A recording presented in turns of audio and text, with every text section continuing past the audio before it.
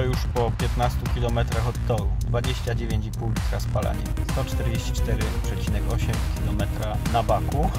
a co ciekawe po torze zrobione jakieś no myślę, że 110 km